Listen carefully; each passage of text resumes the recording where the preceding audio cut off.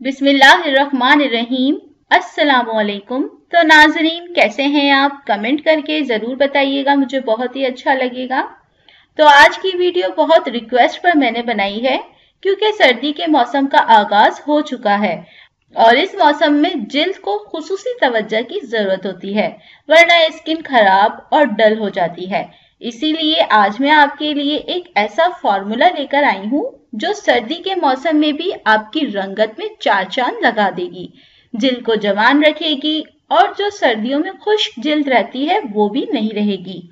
आप चाहें तो इसे अपने हाथों, पैरों और गर्दन पर भी इस्तेमाल कर सकते हैं। आसान और सिंपल सा फार्मूला है, जिसे हर किस्म के जिल वाले लगा सकते हैं। कोई नुकसान नहीं, बस फ़ायदा ही फ़ायदा है। लेकिन इससे मुकम्मल फ़ायदा उठाने के लिए वीडियो को आखिर तक ध्यान से देखें।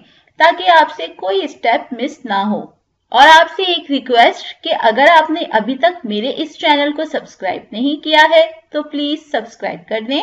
और अगर आप पहले से ही मेरे सब्सक्राइबर हैं तो दिल से आपकी शुक्रगुजार हूँ। सबसे पहले आपने तिब्बत स्नो क्रीम लेनी है। ये रंगत को गोरा करने के लिए बहुत ही अच्छी क्रीम है। और मेरी आजमूदा भी है। और इसका कोई नुकसान भी नहीं। वैसे इस क्रीम को तो मैं अपने बचपन से देखती और इस्तेमाल करती आ रही हूँ। और सबसे अच्छी बात यह है कि ये महँगी भी नहीं है। 120 या 150 रुपए में ये आराम से मिल जाती है। आपने इसे एक चाय वाले चम्मच के करीब लेना है। ये देखें इतना। अब आपने इसमें डालना है एलोवेरा जेल। किसी भी कंपनी का आप ये ले सकते हैं, जो भी आपके पास मौजूद हो। बहुत काम की चीज़ है, इसे आप अपने घर में ही रखें। इसका आपने एक चम्मच डालना है, ये देखें इतना। अब आपने इसमें डालना है एलमंड ऑयल यानी के बादाम का तेल। बादाम का तेल जिल को जवान रखता है और झुरियों को कम करके जिल को निखारता है। इसके आपने बस चंद कतरे डालने हैं। ये देखिए बस दो से तीन कतरे ही आपने इसके डालने हैं। अब इसे अच्छे से मिक्स करेंगे और वीडियो अच्छी लग रही है तो लाइक करेंगे। ये देखें, ये मिक्स हो गया है।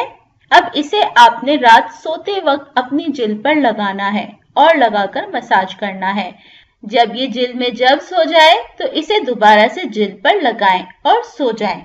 सुबह फेस वॉश वगैरह से मुँह धो लें। इससे जिल सर्दी में भी खिली खिली रहेगी। फटेगी भी नहीं और जवान भी नज़र आएगी। इसका कोई नुकसान नहीं। आप बिला झिझक इसे इस्तेमाल कर सकते हैं। तो आप इसे ज़रूर ट्राई करें और अपना एक्सपीरियंस मेरे साथ ज़रूर शेयर करें। वीडियो अच्छी लगे तो लाइक करें कमेंट करें और शेयर करें। चले अब इजाज़त दें। इनशाला फिर मिलती हूँ नेक्स्ट वीडियो में। तब तक के लिए अपना बहुत सारा ख्याल रखिएगा, दुआओं में याद रखिएगा। अल्लाह हाफिज।